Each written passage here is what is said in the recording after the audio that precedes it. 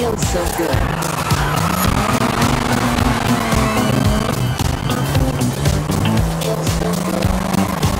Well, that was a nifty way to make our Mexican adventure twice.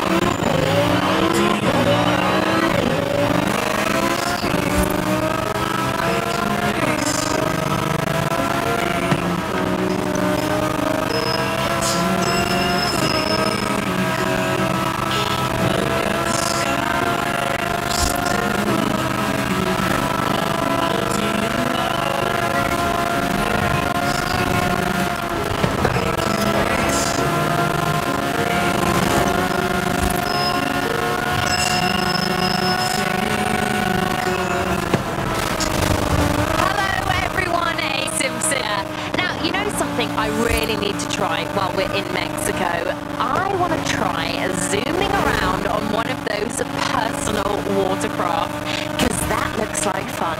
Maybe not in the showcase event as part of an elite team taking on our superstar driver with the whole festival watching. Yeah, maybe not that. When I do it, I'm making sure there is nobody, not a soul around.